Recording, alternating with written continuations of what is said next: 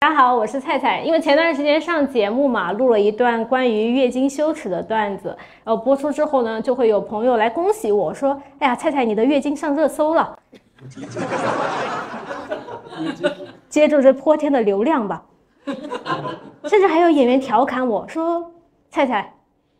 你红了。”接住这泼天的月经吧。我就奇怪了，咋接啊？就是我是讲了一段卫生巾的段子，我又不是卫生巾成精了，而且还会有嗯，就是那种姐妹特别可爱嘛，她们会在我的评论区评论，跟我说什么许愿自己能够月经规律，不痛经。我就感觉我是讲了别人讲了脱口秀是脱口秀的神，我讲了脱口秀是脱口秀的精神。然后呃，播出当晚，其实我当时讲了一个段子嘛，是一个小哥，他会问我是要四百二十厘米的卫生巾还是二百九十厘米的卫生巾，呃，我以为就是自己红了，因为播出当晚呢，就会有一个卫生巾品牌来找我，我以为他会就是让我去代言，或者送我经费，结果都没有，他说要给我做一个两米九的卫生巾，我就拒绝了，我想这两米九的卫生巾能干啥呀？直到前几天，上海台风天，倾盆大雨，然后就有一个观众就在底下评论跟我说，想我送他一个两米九的卫生巾，放在阳台上吸水。我觉得太离谱了，他这才是要接住泼天的流量。就但是也有道理，因为老天爷确实比男明星流量大。但我就一直觉得有一点非常的奇怪，就是卫生巾的功能其实它不应该是吸血吗？但我发现现在的卫生巾营销，大部分的都是在偷换概念，有把卫生巾放在水盆里吸水的。之前还看到过一个非常夸张的，就是一片卫生巾啊，吸干了蓝色的海洋。我不理解，就卫生巾吸的不应该是红海吗？我一直以为能吸血的卫生巾市场是一片红海，结果还是一片蓝海。首先，就正常女生来月经啊的量大概就是四十到八十毫升嘛，然后吸一整片海是什么情况啊？就是海的女儿，而且海王都吸不了一片海，能吸水也不等于能吸血嘛，对吧？道理也很简单，血溶于水嘛。这种特别能吸水的卫生巾，但我感觉不适合女生经期用，就适合放在国产剧里面吸他们住的水。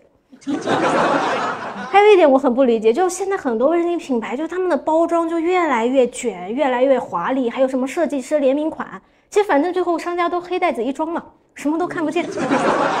而且包装越华丽啊，名字就越中二，比如什么公主、仙女、翅膀，我感觉几千年后考古学家就是挖掘出这些包装，他们会以为《巴拉巴拉小魔仙》是一部纪录片。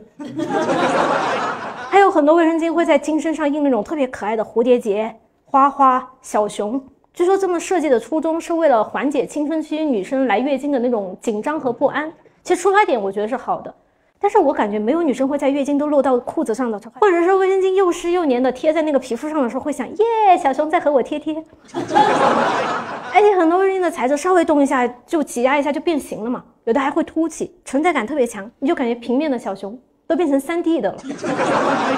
这我就感觉，与其把精力花在这种生产美丽的废物上，不如投入到公益上，就像护舒宝一样，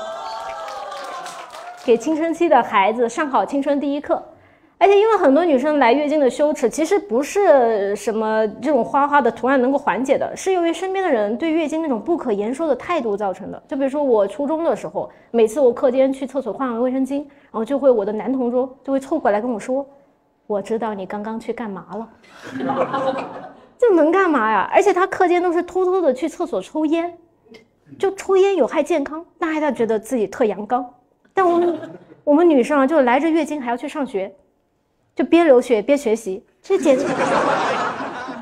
对吧？你们来着月经还要研究，我们简直就是铁血铮铮。所以我觉得，比起用萌萌的图案缓解紧张，女生其实更需要的是生理健康的教育。男孩更需要的是教育，比起在图案和噱头上玩花样，其实不如花功夫在材质和创新上，研发出真正懂得女生需求的卫生巾。就目前大部分卫生巾的原料，我了解一下，都是纸尿裤一模一样的嘛，就是棉花、纸浆、吸水珠三件套，而不是专门为精血设计的。了解之后，我就发现，大部分贵卫生巾啊，卖的那么贵，真的是贵没有贵的道理。